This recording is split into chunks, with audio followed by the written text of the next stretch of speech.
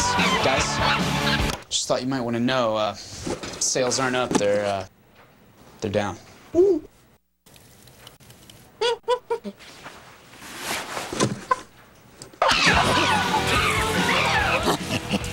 yes, sir.